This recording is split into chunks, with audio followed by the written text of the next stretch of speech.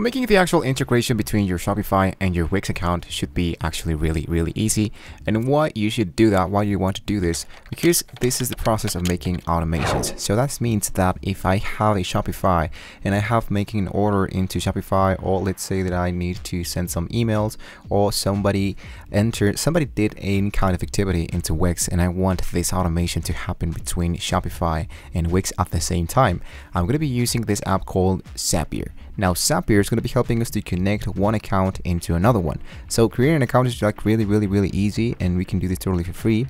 And what you want to do is to go directly into your applications and here you can add a connection between different different apps.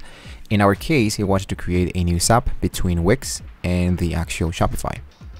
So my trigger comes from Shopify and the event, let's say that when somebody uh, clicked in creating like a new customer, this is my event and this is what starts the Zap.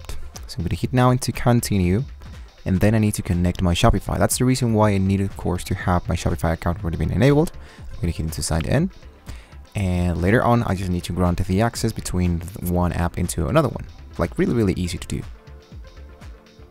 So if you don't know what is the actual name of your Shopify account, you want to go back here and in the upper side here appears your actual name. In my case it's Sophia's and there we go.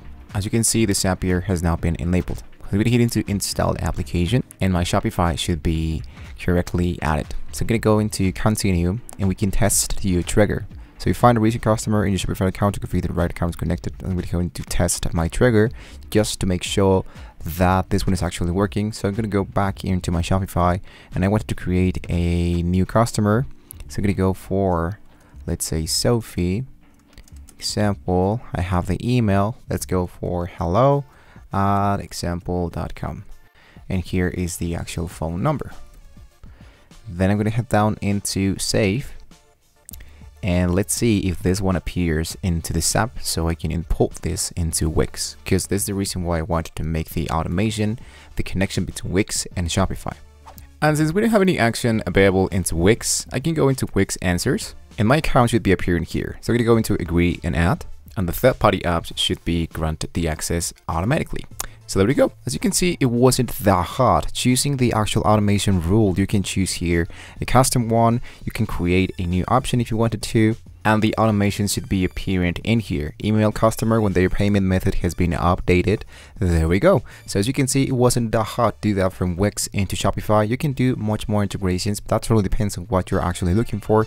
So I think we have now covered the basics. So don't forget to like and subscribe to the channel if you don't want to see more amazing tools from Zapier so you can move from one application into another one and you can use almost any kind of application depends on the actual library that Zapier has to offer to us. So thank you once again for watching the video guys. See you next time.